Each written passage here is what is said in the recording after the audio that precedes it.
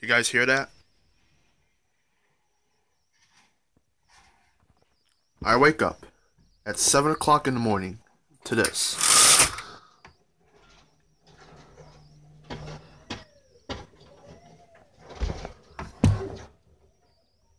I mean, they know I went to bed at like like 2 in the morning, right? They know I need more sleep.